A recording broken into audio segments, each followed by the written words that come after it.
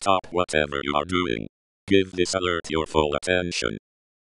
This emergency alert is from the SCP Foundation, an international group concerned with your safety and security. The SCP Foundation is delivering this message with the authority of your national government, and you must pay close attention.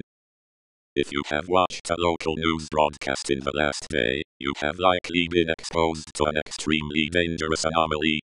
SCP-096 is a tall, emaciated humanoid, which attacks and kills all who see its face.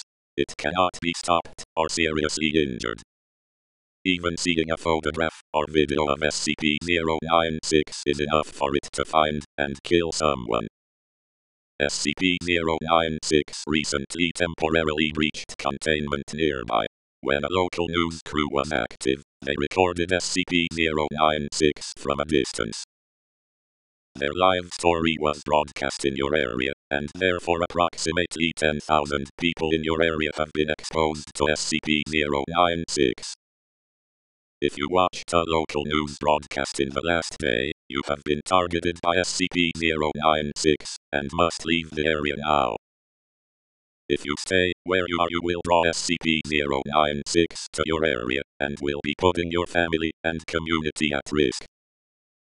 If you have not recently watched a local news broadcast, you should immediately say goodbye to any friends or family members that have.